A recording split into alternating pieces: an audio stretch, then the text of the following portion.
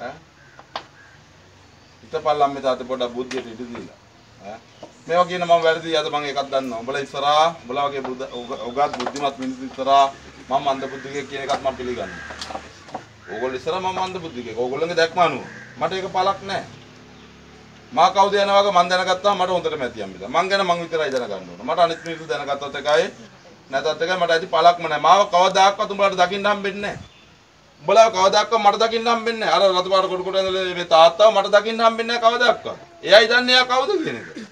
එයා පෙනී ඉන්නවා මේමයි කියලා පෙනීම තුලින් අපිට ආනේ මිනිහා හරි හොඳයි, අර මනුස්සයා හරි හොඳයි. අද ඒක තමයි බලපල පිනාස් මේ රටේ තියෙනවනේ පිනාස් ආයතන රෝමේ නේද? ගිහින් බලපල්ලා. මුලින් වාහනයක් ගන්න පිනාස් එක දාලා ගන්න යදී උඹට කොච්චර ආදරේද උන්? ඊට පස්සේ මොකද වෙන්නේ? ඒ ආදරේ තියනවද බං? එතකොට උඹට මේ පේන්නේ මේ ඔක්කොම රංගපෑමක් තියෙන්නේ කියලා. ටීවී එකේ නාට්‍ය රංගපෑමක් කියලා වත් නොතේරෙන කාලකන්ණි බං අපි. අයියේ උඹලා අඬන්නේ ටීවී එක මේ බල බල. නාට්‍ය බල බල අඬන්නේ අයියේ. ඔය පහුගිය සේෂාම මේ මහා ගෙදර චිත්‍ර ප්‍රවීණ ඔය ඇද්දි මාධ්‍ය වලට ගිහින් බැලුවා. මිනිස්සු ගැන අධ්‍යයනයක් කරා. ගෑනු ටික මොකුත් නෑ ආයේ අම්බෝ ගේ ඇතුලේ සමල්ලාට තමන්ගේ ඥාතියෙන් මරනට වැඩි අඬනවා. ඇයි මේ? මේ නාට්‍යයක් මේක මේ රංගපාලා ඉවරයි. මේ ඉස්සර රංගපාපු එකක් කියලාවත් මුන්ට ඔළුවට වැටෙන්නේ නැහැ. ඒකට අපි මන්ද බුද්ධ කියන දන්නේ නේද? සිංහල කියන්නේ එහෙම જાතියක් නෙමෙයි බෝලා. අභීත උත්තම ශ්‍රේෂ්ඨ જાතියක් මේ ලෝකේ ඉන්නවා නම් මම බය නැතුව කියන සිංහල කියන. මේ දැන් ඉන්න කාලකන්ණි නිවට අපතේ නෙමෙයි. අතීත සිංහල. එතකොට සිංහල මෙතන ගෙනාවේ කවුද? සුද්දා බා. සුද්දා කියන උපක්‍රමයේ පාවිච්චි කරේ කාවද? සිංහලයවමයි. සුද්දාට කත් ඇදපොන්ට මේ රට පාලනය කරලා පාලනය දීලා ගියා. එහෙම නෙමෙයි දුන්නේ. ඈ? සුද්දා කැරලි ගහපොන්ටත් දුන්නේ සුද්දාට කත් ඇදපොන්ටත් දුන්නේ. අන්න අදටත් ඒක තමයි අම්මේ තාත්තේ. සුද්දයි මේ රටට ඇවිල්ලා මේ වින කරේ. සුද්දට වඩා අපි හොඳින් හිටපින්ද මම බය නැතුව කියනවා. සුද්දට වඩා නරකකට හිටපින්ද නෙමෙයි අම්මේ තාත්තේ මේ රටට පැන්නේ. මේ රටේ සියල්ල අපෙන් හැංගුව අවුරුදු 133 1815 දී මුන් එනවා 1948 මගේ මතක හැටියට නම් මම දන්නේ හරිද වැරදිද කියන එක යනවා නේද? බුද්ධිය තුලින් දැකපල්ලා මේ කාල පරාසය තුල අවුරුදු 133ක් මොනවා මුන් අපෙන් හංගන්න ඇද්ද උඹලා හිතන්නේ? එක පාලකෙක් අද යනවා දුන් හංගපුව හොයාගෙන ඈ එතකොට සුද්ධ පාලනේ කණ්ඩිතලා අපේ රට කොහොමද තිබ්බේ කියලා ඒ තුල යන්න එක පාලකෙක් අද ගමන් කරනවද? ඔය පුරා විද්‍යාව කියන කාලකන්ණි අපතේ අද යනවද ඒවා හොයාගෙන? උන් හොයන්නේ මොනවද? මොනවා හරි රටේ හොයලා ඒක ආන්දනවා පිට රටකට. මේ රටේ අපි අභිමානයේ කෑවේ කවුරුද මේ පුරා විද්‍යාව කියන කාලකන්ණි යන්නේ උන් අපේ උරුමය නැති කර අපෙන් හැංගුවා. ඈ උනුත් ඇයි උන්ගේ සුඛ විහරණය. උන්ට තන හම්බෙනවද මේ මේ අපේ රටේ දෙයක් කියලා මේක අල්ලගත්තොත්? නෑ උනුත් ඒක හින්දා පිට රටටම කාවැද්දුවා අපේ හැමදේම. ඔයාලා බලපල්ලා අම්මේ තාත්තේ මේ විශ්ව භූමියේ මේ හරි අමුතු භූමියක් මේක අම්මේ තාත්තේ. මේවා හැමෝටම පේන්නේ නෑ අම්මේ තාත්තා. දැන් ගෑරේජ් බාස් කෙනෙක් ඔතන ඉන්නවා නම් අත උසන්න බලන්න. ගෑරේජ් බාස් කෙනෙක් ඉන්නවද? ඈ? වාහන ඩ්‍රයිවර් කෙනෙක්? ඕන තරම් ඉන්නවනේ.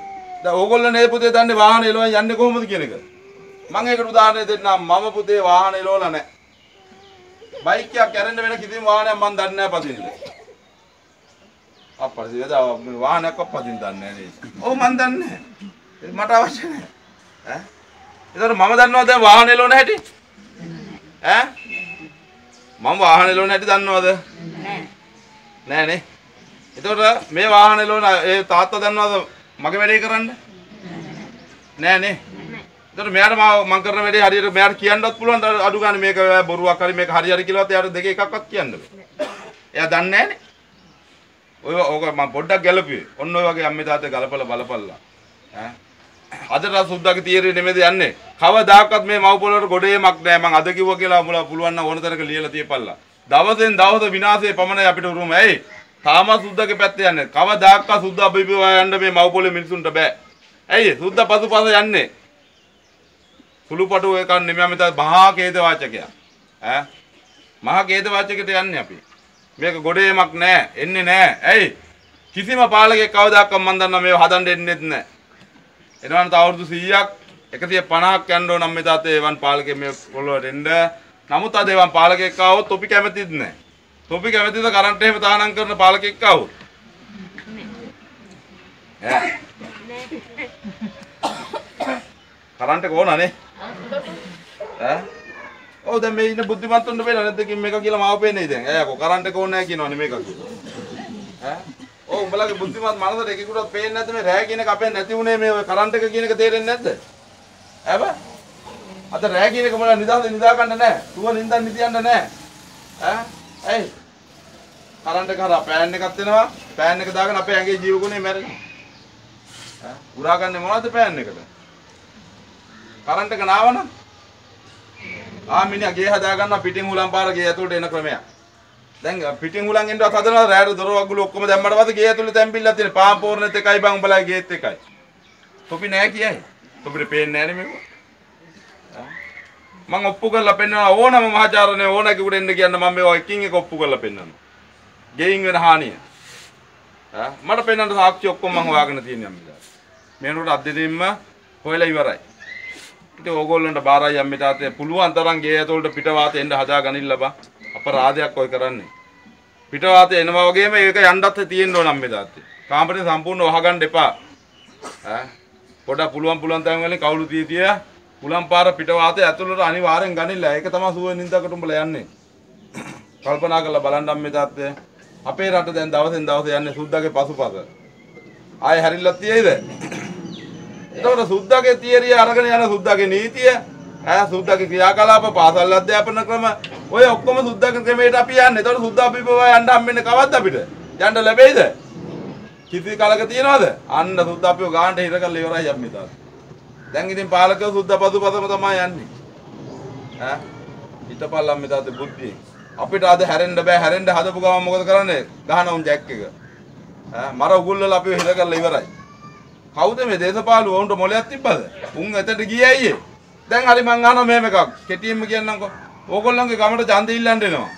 ඡන්ද ඉල්ලන්න ඇවිල්ලා සල්ලි විස කරනවා පේන්නේ නැද්ද? ඒ අයියේ ඡන්දෙට විතරක් ඇවිල්ලා සල්ලි විස කරන්න කියලා තොපි එකෙක්වත් කල්පනා කරාද? නෑ නෑ ඌ සල්ලි විස කරනවා මේ තමයි හොඳ එක. ගමේ උන් කියන අනේ අරු හොඳයි.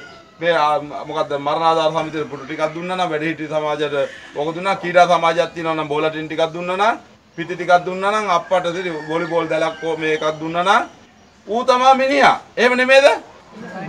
ඌ මේ උඹලා ගමට පහල වෙච්ච දෙයියෙක් ඒ දා ඒ කාලේට පේන්නේ නේ ගාවට කතා කරනවානේ අර ඌ හොඳයි බං ඌ තමයි මේ මේවා කියන්නේ නැද්ද උඹලා? මේක මේක නෙමෙයිද පරම සත්‍ය? උඹලා කතා වෙන්නේ නැද්ද ගමේ අර මිනිහා තමයි හොඳ? ඈ උඹලා එක එකව කල්පනා කරනද ඇයි මේ ගමේ අ, සල්ලි විද කරන්න කියලා පෙවුන්නේ නැහැ නේද? ඡන්දය අර ගන්න විතරයි කියලා විතරක් උඹලා ගොළුව කාටවත් ගියේ නෑ අම්මේ තාත්තේ උතන්ට. කියනනම් උඹලා ඒ පස්සේ යන්නේ නෑනේ. ඈ එහෙම නෑ එහෙම නොවුන අද ඔය වගේ කාල කන්නේ ඉඳීද? මේක වෙනස් කරන්න කවදාක්වත් බෑ. මම මේ කොච්චර කිව්වද දන්නේ ලබන ඡන්දකෙදි උඹලා ඡන්ද දෙන්නේ. උඹලාගේ ගෑමට ඇවිල්ලා සල්ලි විසි කරන කාට. සල්ලි විසි කරන්නේ ඇයි මේක? මේ බලය ගන්න පමණයි. උඹලට ආදරේට එකෙක්වත් ඇවිල්ලා සල්ලි දෙන්නේ නෑ අම්මේ තාත්තේ. එහෙනම් අනිත් දවස්වලත් ඇවිල්ලා දෙන්න බෑ. ඡන්දේ නැතුවත් ඇවිල්ලා දෙන්න බෑ උඹලා ගමට උදව්. ඈ දෙනවද? එහෙනම් මොකද්ද මේක? දැකපල්ලා මේව ඔක්කොම අම්මේ තා. උඹලට රංගපෑමක් කරනවා, උණුත් රංගපෑමක් කරනවා, තාකර තාක මුක්කු ආවු වෙනවා. ඒක තමයි එයින් එහා ආයදයක් නෑ. ඉතින් උන් යනවා පාලනයේට අද බලපල්ලා නීතිඥ පට්ටමක් දාගෙන ආවොත් ඌ පාර්ලිමේන්තුවේ නෙමෙයිද? අද වත්මන් තත්ත්වයේදී නීතිඥ කවුරු හරි නීතිඥ ඡන්දිල්ලුවොත් මොකද වෙන්නේ? ඇයි ඒ හේතුව නීතිඥ ඡන්දිල්ලද්දි පාර්ලිමේන්තුවට යන්න තරම් හේතුව මොකද්ද තියෙන්නේ? මම දැක්ක මේ පැත්තෙන් අපේ පැත්තෙන් පුත්තුලන් දිස්ත්‍රික්කේ පැත්තෙන් කාලයක් එක්ක මම හොඳට බලන් හිටියා නීතිඥ පට්ටම ගහපු සියලු දෙනා ගියා පාර්ලිමේන්තුවට.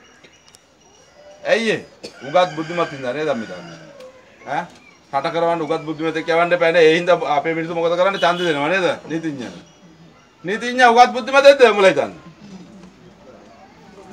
මෙතන නීතිඥ ඉන්න පුළුවන් මට කරන්න දෙයක් නෑ අම්මේ තාත්තා. මට අදාළ නෑ. තොපිත් මාව ඕන විදිය දැකපියාව මන් දකින දේ මං කියන්නේ. නීතිඥයා කියන්නේ කවුද අම්මේ තාත්තේ? මට කියපල්ලක සත්‍ය වුණාද යුග පුරුෂයෙක්ද? ඇයි මේක මේ නීතිඥ කෙනෙක් ඉගෙන ගන්නේ? මේ රටේ ඉන්න මිනිසුන්ව මේ වැරදි වලින් මුදව ගන්නද? අහිරකවල වල ඉන්න උන් මේ එළියට දාලා නඩු කියලා ඒ කතා කරලා එළියට දාලා උන්ට නිදහස දෙන්නද? එහෙනම් සල්ලි හම්බ ගන්න. එතකොට මේක මොකෙද්ද මේක? නමුත් අපේ සමාජය අද වුණා මහා ඉහලින් පිළිගන්නේ. ඇයි මේ පිළිගන්නේ මහා ඉහලින්? අපි මන්දබුදු කියන නෙමෙයිද? කල්පනා කරලා බලපියවකෝ. නීතිඥයාගේ සහාය වැඩිම අවශ්‍ය කාටද? ෆැමිලිලටද විත්තියටද? විත්තියට. දැන් බලමු දන්නවා සමාජ නීතිඥයෙක් ඇවිල්ලා බැලුවාම උඹලා වුණත් මහත්යෝ කියාගෙන හරි උඩින්ම තියාගෙන ඉන්නේ නේද? අඳුරු වලාපටවල් ගලව ගනිල්ලම් මේ තාත්තේ. අදින් පස්සේ. ඔය මොකෙක්වත් තොපි ලොක් කරගන්න එපා. තොපි තොපි ලොකු යමු. වෙන එකෙක්වත් ලොකු කරන්න එපා. ඇයි මොකටද උඹලා අනුන්ව ලොක් කරගන්නේ? මොකටද? ඈ? උඹලා ඒ ලොකු බා. තේරුම් ගනින්න. Taman tamanව හීනමානට දාගන්න එපා අම්මේ තාත්තේ. උඹලා දුප්පත් වෙන්න පුළුවන් මිල මුදල් අතින්. මිල මුදල් අතින් දුප්පත් මිනිහා ගාව තමයි පොහොසත්කම තියෙන්නේ. ඈ ඒක මට කෙටියෙන් කියන්න බෑ. ඒ හින්දා මට නවත්තන්නම්. අර නීතිඥයාගේ සහාය වැඩිම අවශ්‍ය කාටද එතකොට? පැමිණිලි පාර්ශවයටද විත්ති පාර්ශවයටද? හරි. එතකොට පැමිණිල්ල දාන්නේ කවුද මේ? සාධාරණ මිනිහෙක්ද? අසා මේ කියන්නේ අසාධාරණයට ගිහිල්ලා අර මිනිහට විරුද්ධව පැමිණිල්ලක් දානවද නැත්නම් මිනිහට අසාධාරණයක් වෙච්ච ඉඳ කියලා පැමිණිල්ලක් දානවද? හරි. එතකොට ගිහින් නීතිඥයාගේ සහාය වැඩිපුර අවශ්‍ය වෙනවා. අතනට එතන මේ නීතිඥයා පෙනී ඉන්න කාව වෙනුවෙන්ද? විත්තිකාරය වෙනුවෙන්. එතන විත්තිකාරය හරි කියලා උසාවියේ අර ෆැමිලි පාර්ශවයට මොන්න තරම් අගතියකට පත් කරන එකෙක්ද මේක? දූෂණයට ලක් වෙච්ච දරුවා නගිනවා මම්මේ තාත ගෑනු දරුවා. ඒ ගෑනු දරුවා එතරම් කොච්චර අපහාස කරනවද මේ උතුම් කියන මිනිහා? ඈ දූෂණය කරපු මිනිහා බේර ගන්න හදනවා. අද වෙන්නේ නැද්ද ඒක මව පොළවේ? ඈ මම ඔය කෙටියෙන් උඹට උදාහරණයක් දුන්නේ. එතකොට එවන් මිනිස්සු මම්මේ තාත හොඳ මිනිස්සුද බං? ඈ? ඉතින් උන්ගෙන් දැන් එන්නෙන් වැඩි වෙලානේ මේ මව පොළොව බං. රට හරියයිද? උන් රින්ගෝ පාර්ලිමේන්තු. දැන් ඇත්ත බොරුව මොකද්ද කියලා හොයාගන්න බෑනේ. ඇයි පාර්ලිමේන්තුවේ ඉන්නවා മന്ത്രിලා ටික බඩු දෙපැත්තේ තුන් පැත්තේ ඔක්කොගේ മന്ത്രിලා ටික ඉන්නවා. ඈ?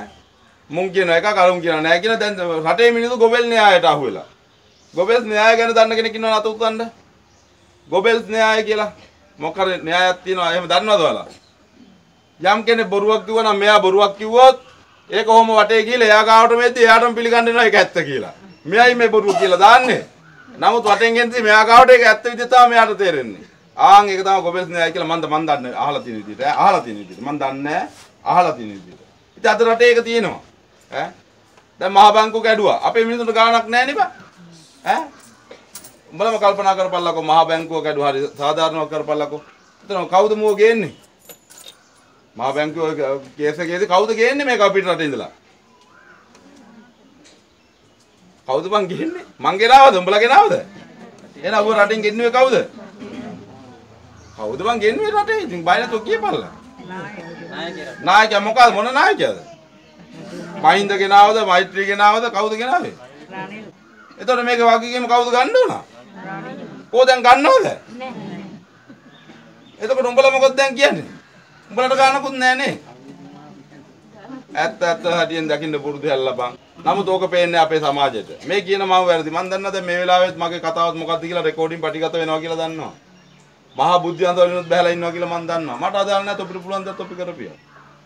ඈ මේ ළඟදිත් මහා බුද්ධ රටේ බුද්ධි ප්‍රධානියෙකුත් මෙතන ඉන්නවා. මොනව හොයන්න ආවත් දන්නේ අදත් ඉන්නවා මම බය නැතුව දන්නවා. තොපිට ඕන දෙයක් කරපියව. මට වැඩක් නැහැ. තොපිට මාව මරන්න පුළුවන් නම් මරපියව. ඈ කරන්න පුළුවන් ඕන දෙයක් කරපියව. මැරෙන්න ඉපදුන එක මැරෙන්න බය නැහැ. ඒක මම හොඳට දන්නවා. මං ඉපදුනේ මැරෙන්න. ඒක මම හොඳට දන්නවා යුද බිමෙත් ඉල්ලගෙන ගිය එක. ඉතින් මට ජීවිතේ මට අදාළ නැත. මං ජීවත් වෙන්න ආපු එකේ නෙමෙයි. ඉතින් අම්මේ තාත්තේ බුද්ධියට ඉඩ දීපල්ලා. හරි දේ හරි එකව දැකපල්ලා.